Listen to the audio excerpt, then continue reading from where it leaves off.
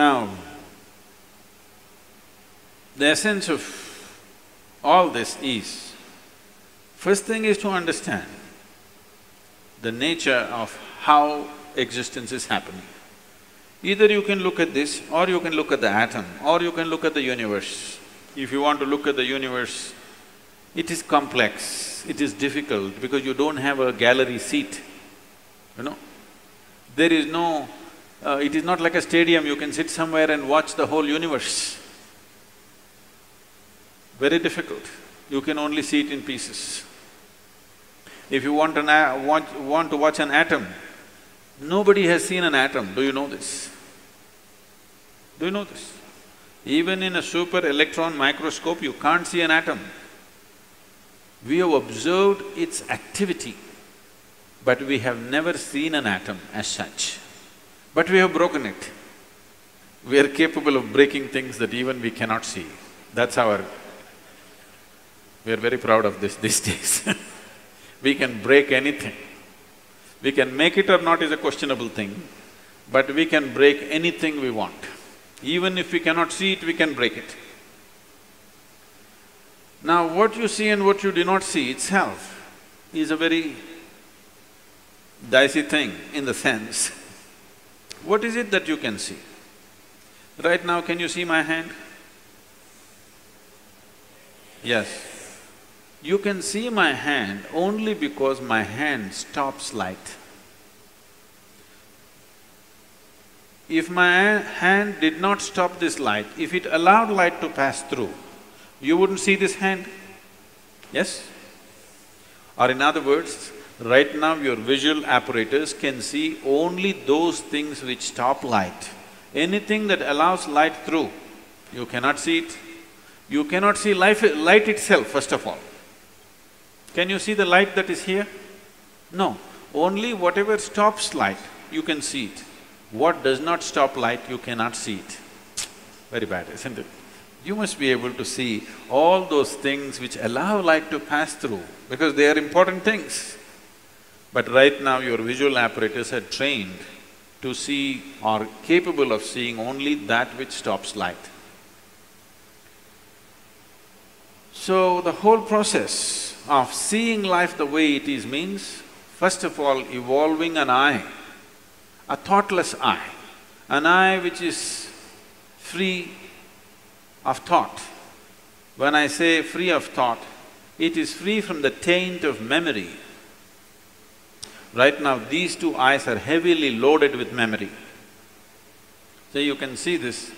If you see a group of people like this, if you just casually look like this, if the, among these hundreds of people, if there is one face that you're familiar with, you will see suddenly that face sticks out. Have you noticed this? Have you noticed this? You're going in a street, there are hundred people standing there. Your friend is among that. If you look here, just this friend's face is more clear than the rest of the faces because this eye works with memory. The more memory you have, the better it sees. No memory, it cannot see. Memory means an accumulated past. Memory means information. Memory means that which does not exist but acts out as if it does. Memories are more real than reality, isn't it so? Yes or no? See, I want you to understand, everything in your life is run by memory, not just your computer stick. Everything in your life. When I say memory, not just what you carry here, your very body is a body of memory. Why, if you eat a banana, it becomes a masculine body and if she eats a banana, it becomes a feminine body, is simply because of the memory that it contains, isn't it? The information that is stored in this body and that body is different. Same banana, it becomes a man, same banana, it becomes a woman. Yes or no? Huh? Are you eating different types of bananas? Same thing, same food if you eat, it is becoming one way. In one person it is becoming dark skin, in another person it's becoming fair skin. How? The memory that you carry. Do you remember your great, great, great, great, great grandfather? You don't. But his nose is sitting on your face. Your body remembers, isn't it? You may not have no idea who it was, but your body remembers even today. A million years ago, how your forefathers were, still it remembers, isn't it? So what you call as my body is just a body of memory. And eyes are loaded with memory. An eye which is loaded with memory, an eye which is corrupted with memory, cannot see anything the way it is. It will only see things as it is convenient because the software is working from inside. It will not allow you to see anything the way it is. This is what traditionally we are referring to as karma. It is there in your body, it is there in your energies, it is there in the way your chemical reactions happen, it is there in your brain, it is there in your mind, it is there in everything. In the very physical energy that you carry, there is memory because you will see each person's energies behave differently from the other simply because of the type of memory it carries. If you want to get rid of this, it's a long process. And if you get rid of this, dismantling of the personality and the body will happen. So another way is to create a distance from it. Just hold it little away. When you want to play with it, you play with it, when you want to switch it off, you must be able to switch it off. So for this, an external view is needed.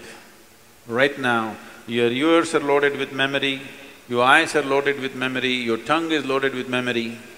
Why? if you are born in Karnataka, if you go to North India, food doesn't taste good, is because the tongue is loaded with memory. Yes or no? Have you suffered this or no? You went north and uh, they said aloo bhaji, aloo aloo matar, aloo, aloo palak, aloo parota, aloo, aloo, aloo, aloo they said. You couldn't stay there because your tongue is loaded with memory. It wants the same things back, otherwise it will suffer. So what being loaded with memory means is a cocoon of the past is holding you. It will not allow you to even move into the present. A cocoon of the past holds you and you allow it to do this because it feels safe. It creates a cocoon. There is safety, but in safety, there is also imprisonment. You're really safe if we lock you up in a safe, isn't it? But the problem is you can't get out. That's the whole problem. walls that you build as self-protection, they also become the walls of self-imprisonment. That is the nature of life. If you lock yourself from inside or outside, it's the same thing. As long as you do not open the door, whether somebody locked you from outside or you locked yourself from inside, there is no difference. Anyway, you're imprisoned, isn't it? At least somebody locked you from outside, you can at least complain and scream. You locked yourself from inside, you can only be depressed. You cannot even scream. Who… at whom will you scream? So this process of what we are looking at is the memory imprints itself on all levels. Right up to the elemental level. From the five elements which function here, from just after that, memory's work starts. So when we utter the word karma, it is not one simple formula or it's not, you know, people are saying theory of karma, we are not talking about any theory. We are referring to a certain reality. Karma means memory. Action and memory. Past action exists only in the form of memory, isn't it so? Yes? Memory not just what you carry here, every cell in the body carries its own memory. Why one atom behaves differently from another atom, though the same ingredients is, it has a memory. A hydrogen atom has one kind of memory, oxygen atom has another kind of memory. Unless you mix them up, they will continue to behave like that. It is in a small circle, you are in a little larger circle, the universe is in a much larger circle, but the same memory rules all of it. So when we said karma, we are not talking about some concept or philosophy, we are referring to a certain reality which is finding manifestation as who you are. The very shape of your body is because of memory. If a bird eats a mango, it becomes a bird. If a worm eats a mango, it becomes a worm. If you eat a mango, you become a human being. Same mango, how many things it's doing, depending upon what kind of memory it carries, isn't it? You… what you call as a seed, if you plant the same seed, if you plant a seed in the same soil, here you plant a mango tree, here you plant, plant an apple tree in the same soil, this will only produce apples, this will only produce mangoes. I know there is a newspaper picture where, uh, you know, a jackfruit is become bananas, that's different. Yes? You saw this? Are you all from Bangalore or Devanahalli?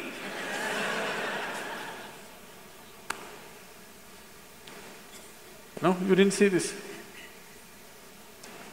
A bunch of bananas are coming out of a jackfruit for some reason. that's a freak. And that's happened because of some mix-up. We don't know who did the mix-up.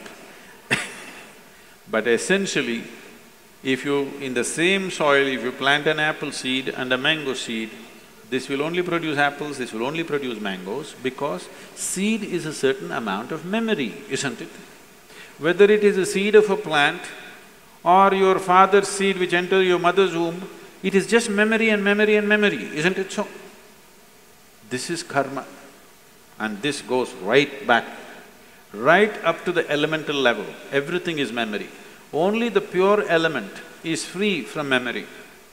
So the idea, when we start, we're starting off Bhutesha, because that's the most important thing, that he mastered the elements, that's why we bow down to him, because because he mastered the elements, he has an eye which has no memory, a taintless eye which sees everything just the way it is. So yoga essentially means developing an eye which is not contaminated by memory, which simply sees. It does not see things the way your memory perverts it. It simply sees everything the way it is. This eye will see those things which do not stop light. Right now, these two eyes can only see what stops light. If you start seeing something that does not stop light, that means another dimension of the eye is beginning to function.